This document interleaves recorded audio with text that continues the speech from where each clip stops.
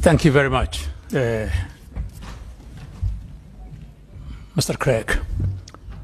I have a couple of remarks to make, and it's related to what Professor Lumumba talked about.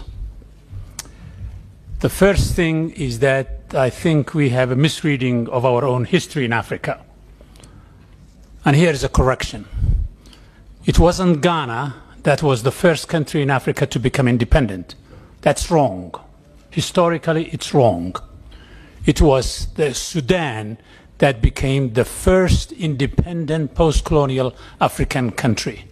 January 1st, 1956, almost a year earlier than, the, than uh, uh, Ghana itself.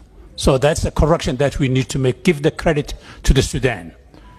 The second remark I would like to make is that uh, Professor Lumumba celebrated many of our leaders.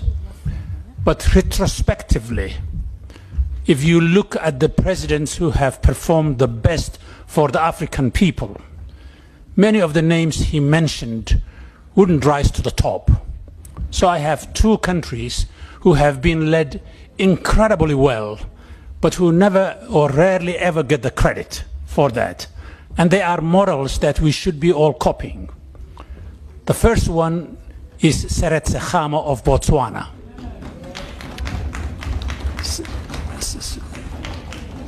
President Khama and the late Vice President and then President Masire built a country from scratch. And Botswana became an African miracle. So if we want to know and understand how to build countries, we should look at Botswana as a model. Second country is Mauritius. These two countries, their annual growth, economically speaking, over the last 40 years almost, has been competing on the growth rate with the East Asians of Taiwan and Korea and others like them. Botswana ran 7, 8, 10% growth annually. So did Mauritius. The level of corruption in the public sector in Botswana is among the lowest in the continent, if not the world. So is Mauritius. And therefore, Botswana, for instance, has over $10 billion in foreign reserves. No other African country can say that. That didn't go to President Masire uh, or President Khama or those who came after them, their pockets.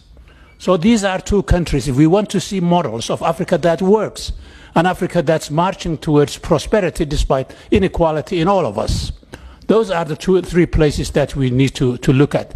The final remarks there is that I'm Abdi Samatar from Somalia. This is my first session in Parliament. Somalia is known as a basket case. But I want to give you a two-second history of the country because just like Khama in Botswana and in Mauritius, Somalia did something before any other African country post-independence did. Somalia was the first place in this continent from Cairo to Cape from Mogadishu to Dakar, where there was a democratic change of government several times in the 1960s when the rest of the continent was wrecked by coups and single-party states. I wrote a book about that called Africa's First Democrats. So don't think of Somalia as Al-Shabaab.